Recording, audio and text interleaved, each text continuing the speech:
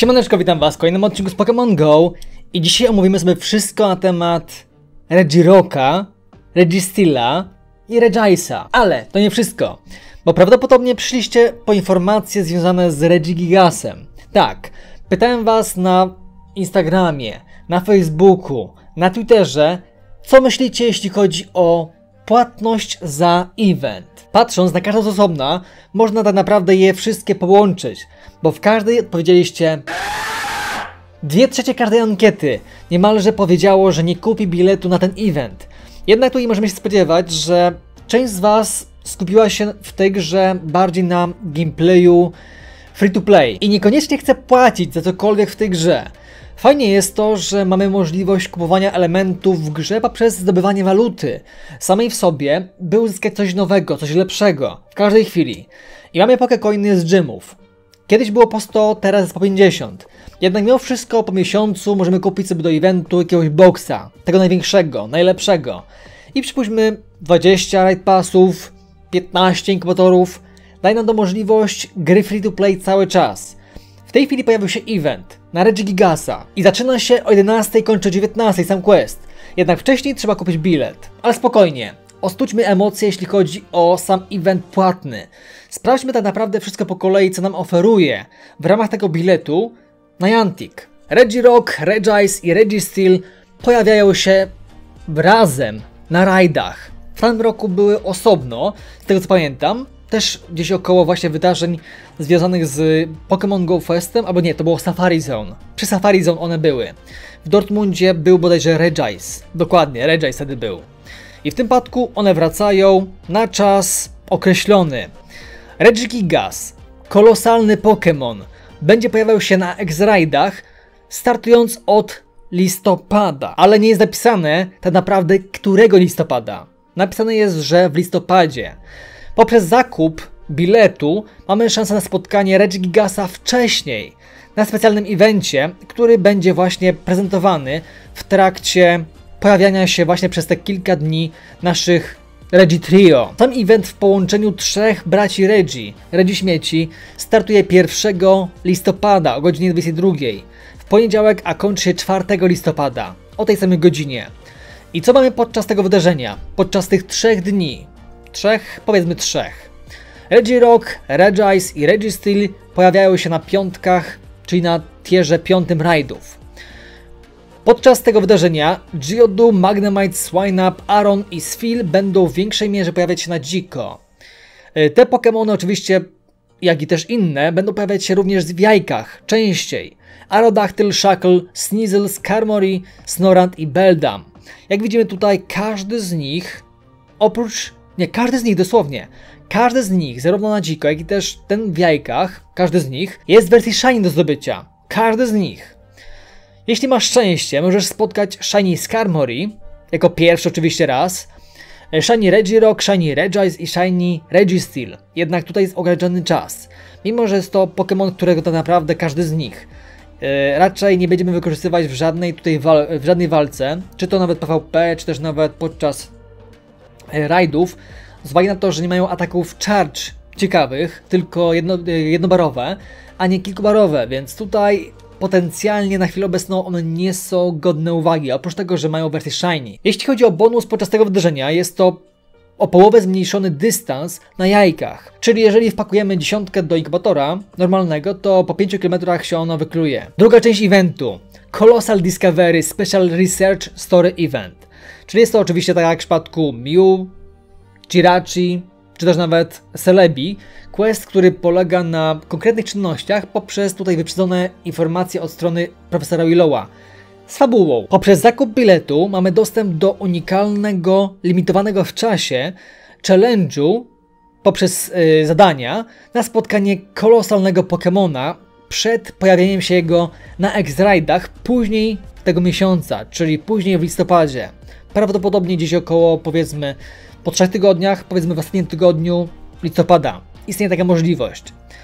I ten event nie ma lokalizacji, więc w każdej części świata, gdzie jesteś, masz możliwość, o ile masz dostęp do internetu, masz możliwość ukończenia tego questu. I ten quest jest na czas od 2 listopada, od godziny 11 do 19 wieczorem. Każdego czasu, czyli w Polsce ta sama godzina, w USA ta sama godzina. W każdym miejscu na świecie od godziny 11 do 19 mamy szansę na spotkanie, na ukończenie tego questu. Jednak tutaj zaleca się, nawet nas nie informuje, ale zaleca się ukończyć ten quest do 4 listopada do godziny 22. Czemu? Bo wśród tutaj storyline'u, czyli oczywiście wśród zadań yy, tego special researchu należy ukończyć raid każdego z Pokémonów na tierze 5. Registeel, Regice i Regirock. Każdego z nich trzeba pokonać i złapać. Prawdopodobnie w tej historii, w tej fabule. Dlatego też do czwartego, bo one też same kończą się pojawiać na rajdach 4 listopada. Ale co się stanie w momencie, kiedy skończy się event, my wciąż będziemy mieć quest, bo on nam nie zniknie yy, i my go nie ukończymy. Dwie rzeczy. Stracimy tutaj tylko i wyłącznie te raid passy, które są limitowane na czas 8 godzin w ten konkretny dzień oraz zmieni się nam storyline. Czyli w tym przypadku zmienią się nam questy na bardziej przyjazne dla normalnych tutaj możliwości podczas normalnego rajdowania na jakiegokolwiek Pokémona, czy też nawet na rozgrywkę gameplay w dniach normalnych jak każdy. Czyli tak jak w przypadku, tak jak ja miałem, po wydarzeniu e, w Dortmundzie na GoFestie, mój quest na Jirachi zmienił się nie musiałem robić zdjęć w konkretnych environmentach, w sensie tutaj otoczeniu, czyli przypuśćmy nie musiałem robić zdjęcia Meltana w otoczeniu tutaj yy, metalowych rzeczy, a musiałem tylko zrobić zdjęcie Pokemona po prostu i tyle. I tak samo będzie tutaj. Historia zostanie taka sama, ale questy będą prostsze. Jednak to nie koniec, bo sam bilet nas nie upoważnia tylko i wyłącznie do otrzymania samego, samej możliwości spotkania Regigasa ale w trakcie tego wydarzenia mamy możliwość zdobycia 10 raid passów, które są na okres właśnie 8 godzin w ten dzień konkretny, czyli od 11 do godziny 19.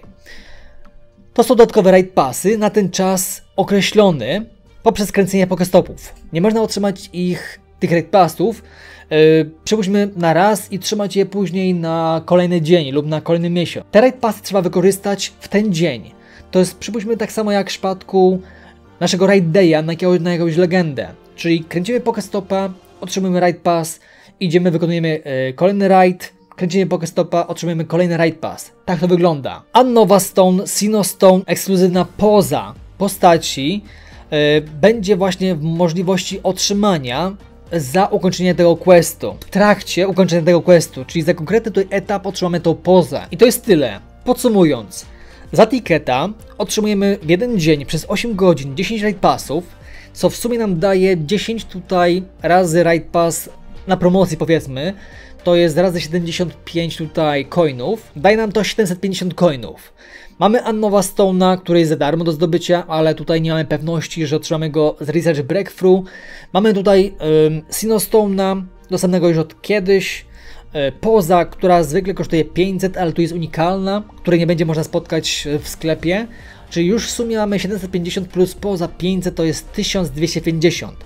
Za samo tutaj uczestniczenie i suma summarum za ukończenie otrzymujemy Regigigasa w finale. Czyli 1250 coinów zamienić tak naprawdę na walutę w, powiedzmy w dolarach, czy też nawet euro, czy nawet złotówkach, niemalże tyle samo płacimy normalnie. Tyle, że w tym przypadku płacimy prawdziwymi pieniędzmi, a nie pokecoinami. Detale zakupu biletu na ten event. Otrzymujemy tytuł Colossal Discovery, czyli będzie tutaj taki emblemat jak w przypadku uczestnictwa podczas wydarzenia powiedzmy na Safari Zone kiedyś. W Czechach takie coś otrzymywaliśmy. Tak samo na GoFestie otrzymaliśmy taki emblemat. I taki emblemat otrzymamy w momencie ukończenia samego wydarzenia, samego questu. W wersji z USA jest napisane, że będzie tu możliwość kupowania biletu za 8 dolarów. Jednak jak sami wiemy, na bazie Pokémon Go Fest tutaj kwoty, znaczy waluta się różni. Na GoFestie była płatność w ilości 20, 35 dolarów albo 25, a w Europie były euro. Tak samo i tutaj będzie prawdopodobnie 8 albo 9 euro za płatność za ten bilet. Czyli summa summarum prawdopodobnie jest to koszt około 40 paru złotych. Ale spójrzcie, płacimy jednorazowo za ticket. 40 powiedzmy 5 zł naokoło, tak nawet przekraczając tą wartość. 40, 45 zł. Patrząc na zakup pojedynczych tutaj w polskiej walucie 100 mm, coinów. Kupujemy 15, żeby zdobyć boksa i płacimy 45 zł. Tyle, że niektórzy patrzą na to przez pryzmat zakupu przez pokecoiny, które zbywają właśnie drogą gymów. trzymania Pokémonów na gymach. I to jest okej.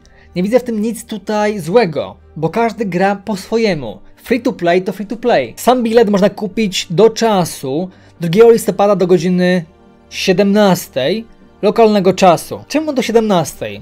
Kiedy tak naprawdę event będzie się kończył, czyli sądzą, że w ciągu dwóch godzin niektórzy będą w stanie ukończyć ten quest? No cóż, to są oni. W każdym razie z tego co wiem, yy, mówiłem wam wczoraj, że prawdopodobnie wczoraj była możliwość zakupu biletu, jednak wszystko się zmieniło do wczoraj. Wczoraj było do wczoraj, wczoraj była informacja w kodzie gry, że wczoraj, już kolejny raz to powielam to słowo, że wczoraj była możliwość zakupienia biletu. Jednak w, dzień poprzedni, przed dzisiaj, zmienili to. I w tej chwili mamy możliwość zakupienia tego biletu prawdopodobnie od 22 października. I ten bilet zakupiony nie będzie możliwy do zwrócenia. W żaden tutaj sposób. Jakie są różnice, jeśli chodzi o osoby, które zakupią bilet, a te, które nie kupią wcale? To, że nie będą brały udziału w tym evencie tylko i wyłącznie jeśli chodzi o quest, nic więcej, pozostałe elementy eventu, tego z Rajaisem i tak dalej, będą dla każdego. Ale sam quest, Special Quest, jest tylko i wyłącznie dla tych, którzy kupią bilet. A sam Pokémon Regigigas będzie do zdobycia poprzez X-Raidy później, pod koniec miesiąca. I z tego co widzę, to jest wszystko, jeśli chodzi o to, co powinniście wiedzieć na ten temat samego wydarzenia, jak i też biletu na unikalny quest. Huh, skończyliśmy. Teraz jeszcze mamy kilka informacji odnośnie tego, co było ostatnio.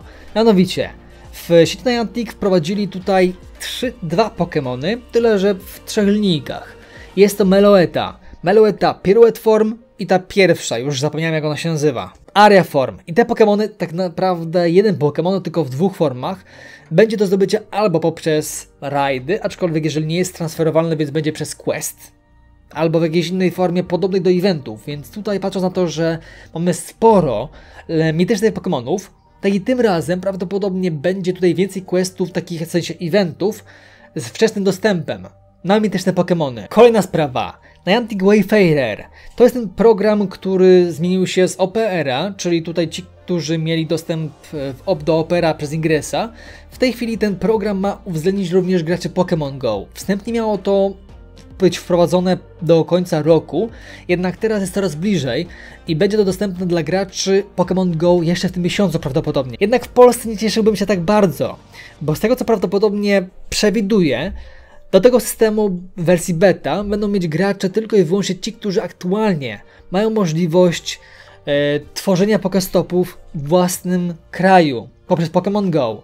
Także w Polsce raczej w tej chwili to nie zawita, dopóki w Pokémon Go nie będziemy mogli tworzyć Pokestopów. Nie będziemy mieć przez grę możliwości tworzenia Pokestopów. I w tej chwili to było na tyle z mojej strony. Wszystko Wam powiedziałem, co tylko wiedziałem na chwilę obecną. Dziękuję za uwagę i widzimy się już wkrótce. Do zobaczenia. Heja!